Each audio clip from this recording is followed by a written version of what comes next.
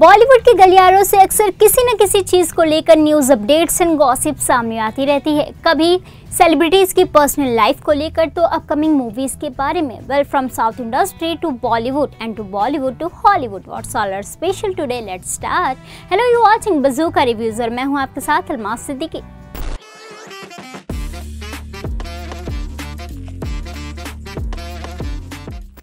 first news from Bollywood for you guys 100 crore club में शामिल हुई मुंजिया शर्वरी वाघ ने मनाया जश्न।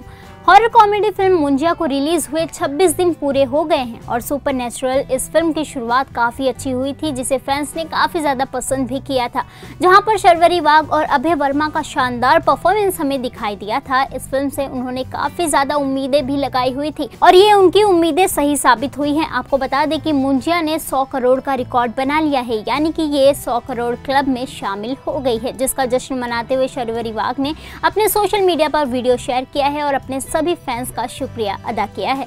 Second hot news from Bollywood for you guys क्या है काकुड़ा का श्राप? सोनाक्षी सिन्हा और रितेश देशमुख की अपकमिंग फ़िल्म काकुड़ा का ट्रेलर सामने आ गया है।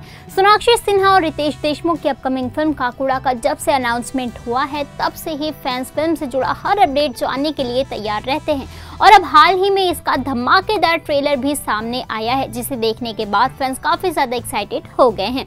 ये मुंजिया की तरह हॉरर कॉमेडी फ़िल्म है और मुंजिया के डायरेक्टर आदित्य सरपोतदार ने ही इसका डायरेक्शन किया है, जिसके ट्रेलर को सोनाक्षी सिन्हा ने अपने ऑफिशियल इंस्टाग्राम पर शेयर किया है। ट्रेलर देखने के बाद फैंस का एक्साइटमेंट चौथे आसमान पर है और इस फ़िल्म की रिलीजिंग डेट का भी इंतज़ार खत्म हो चुका है। इस फ़िल्म को बारह जुलाई को ओ प्लेटफॉर्म पर रिलीज़ किया जाएगा।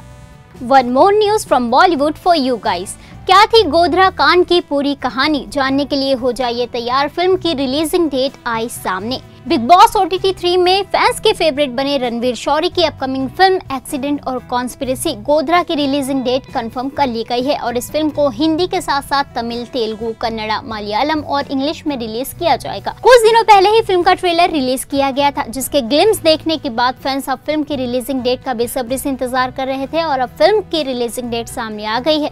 आपको बता दें की फ़िल्म को 19 जुलाई को रिलीज़ किया जाएगा। दीपिका के फ़ैन हुए एटली लगाई तारीफों की झड़ी। कल की 2898 एडी 27 जून को रिलीज़ की गई थी और आज इसे रिलीज़ हुए पूरे छह दिन हो गए हैं और इन्हीं छह दिनों में फ़िल्म ने तगड़ी कमाई कर ली है और अब भी फ़िल्म का परफॉर्मेंस काफ़ी ज़्यादा अच्छा है। फ़िल्म को फैंस के साथ साथ सेलिब्रिटीज भी देख रहे हैं और हाल ही में साउथ के मोस्ट पॉपुलर डायरेक्टर एटली का रिएक्शन सामने आया है। दरअसल उन्होंने सोशल मीडिया पर कुछ पोस्ट शेयर करते हुए लिखा है, जिसे देखने के बाद तो ऐसा लग रहा है की शायद वो दीपिका के तगड़े फ़ैन हो गए हैं। दरअसल उन्होंने कल की ट्वेंटी 98 ईडी देखने के बाद उसका रिव्यू देते हुए सोशल मीडिया पर एक स्टोरी शेयर की है, जहाँ पर उन्होंने डायरेक्टर नाग अश्विन से लेकर एक्टर प्रभास और एक्ट्रेस दीपिका सभी की तारीफ़ की है और उन्होंने अमिताभ बच्चन को गॉड कहा है। इसी के साथ साथ उन्होंने कमल हासन का भी शुक्रिया अदा किया है। सन ऑफ़ सरदार टू से बाहर हुई सोनाक्षी सिन्हा शूटिंग से जुड़ा आया अपडेट सोनाक्षी सिन्हा और अजय देवगन की फ़िल्म सन ऑफ़ सरदार 2012 में रिलीज़ हुई थी और अब इसका सीक्वल भी जल्द आने वाला है। और इस फ़िल्म से जुड़ा एक और अपडेट सामने आया है स्टार कास्ट को लेकर। अकॉर्डिंग टू द रिपोर्ट्स ये खबर सामने आई है कि Sonakshi Sinha son of Sardaar two में नज़र नहीं आएँगी, जबकि अजय देवगन और संजय दत्त इस फ़िल्म में दिखाई देंगे।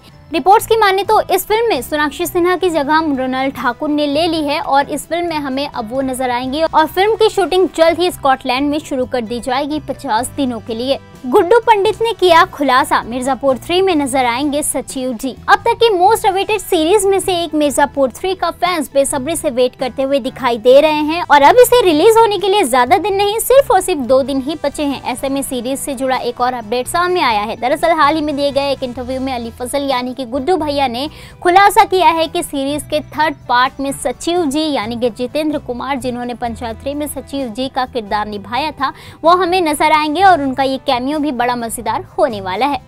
औरों में कहा दम था नहीं होगी पाँच जुलाई को रिलीज़ मेकर्स ने चेंज की रिलीजिंग डेट। जी हाँ अजय देवगन और तब्बू की अपकमिंग फ़िल्म औरों में कहा दम था को लेकर तगड़ा बस बना हुआ है और हाल ही में फ़िल्म का सॉन्ग और ट्रेलर भी रिलीज़ किया गया था, जिसे देखने के बाद फैंस अब फ़िल्म का बेसब्री से इंतज़ार कर रहे थे क्योंकि यहाँ पर अजय देवगन और तब्बू की अच्छी खासी केमिस्ट्री हमें दिखाई देने वाली है। पहले ऐसी खबरें आ रही थी कि इस फ़िल्म को पाँच जुलाई को रिलीज़ किया जाएगा और वो कन्फर्म भी था। लेकिन हाल ही में मेकर्स ने अनाउंसमेंट करते हुए कहा है की फ़िल्म फ़िल्म की रिलीजिंग डेट पोस्टपोन कर दी गई है और नई रिलीजिंग डेट जल्द ही सामने आ जाएगी, जिससे फैंस का दिल टूट गया है। तो ये थी दिन भर की तमाम छोटी मोटी खबरें। वेल, आपको कौन सी इन्फॉर्मेशन सबसे ज़्यादा अच्छी लगी, हमें कमेंट सेक्शन में कमेंट करके ज़रूर बताएँ और हमारे चैनल को लाइक शेयर सब्सक्राइब ज़रूर करें।